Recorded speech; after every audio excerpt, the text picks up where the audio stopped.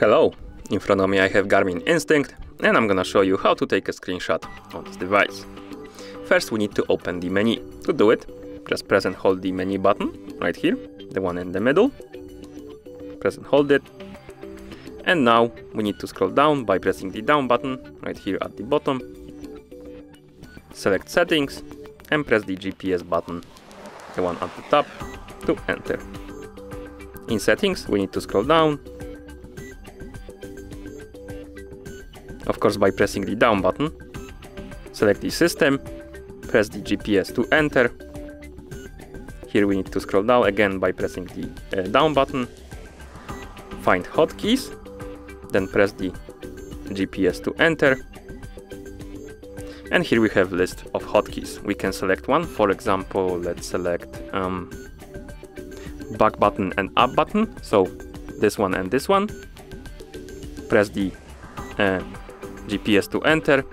And here we have list of uh, functions we can uh, basically apply to this combination of buttons. You have quite a few, but let's find screenshot. And then press the GPS button to confirm. And as you can see, back plus up. Oh, it wasn't uh, down, it was back and up.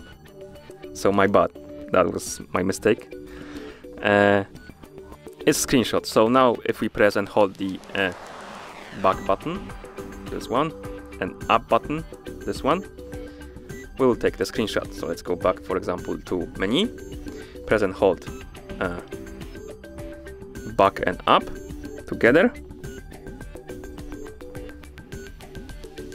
As you can see, it says screenshot taken. And that's how you take a screenshot on this device. The screenshot will be saved in the screenshot folder on your watch. You need to plug it to your computer via USB cable.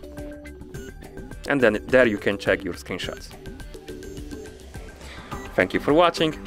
If you found this video helpful, please consider subscribing to our channel and leaving the like on the video.